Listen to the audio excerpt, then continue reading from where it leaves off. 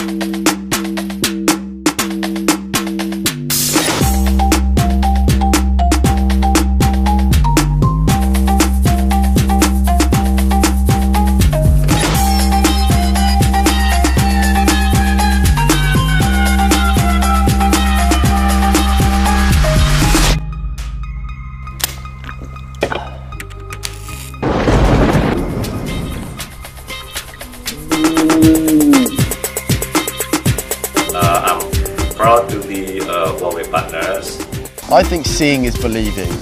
I'm from far away, China, in fact. Yeah, I don't have China is it's, it's an open. I just want to keep using the phone my YouTuber friend told me about years ago. People don't understand this company.